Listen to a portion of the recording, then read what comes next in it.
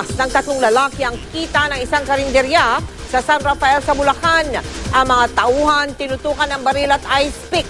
Nakatutok si Julia Segovia. Madaling araw nang pumasok sa isang karinderya sa San Rafael, Bulacan ang tatlong lalaki. Puro mga nakatakip ang mga muka at armado ng ice pick at kalibre 45 baril. Nagulat lahat ng tauhan sa tindahan at di na nakuha pang makalabas nang tutukan na sila ng mga suspect. Pinuntirya ng isa sa mga suspect ang taguan ng pera sa tabi ng tangke ng gas. Nakuha ang 1,500 pesos na kita ng karinderya. At nang naramdaman ng mga suspect na may isa pang tao sa kusina, pinalabas nila ito at tinutukan din ng baril. Nakuha rin ang cellphone ng isa sa mga tindera. Nakuha na din ng CCTV ang paglabas sa tindahan ng mga suspect. May isa raw sa sakyang nakaabang para sa kanilang pagtakas. Nai-report na sa pulis ang insidente at patuloy na tinutugis ang mga suspect. Julio Segovia, nakatutok, 24 oras. Pwede rin po kayong magpadala ng mga video o litrato ng mahalagang balita.